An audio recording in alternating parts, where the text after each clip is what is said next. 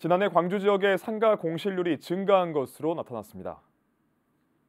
한국감정원에 따르면 지난해 광주 지역의 오피스텔 공실률은 17%로 연초 대비 2.6%포인트 증가했고 중대형 상가 공실률도 1.6%포인트 오른 12.2%를 기록했습니다. 또 소규모 상가의 공실률 역시 4.3%로 연초보다 2.3%포인트 오른 것으로 조사됐습니다.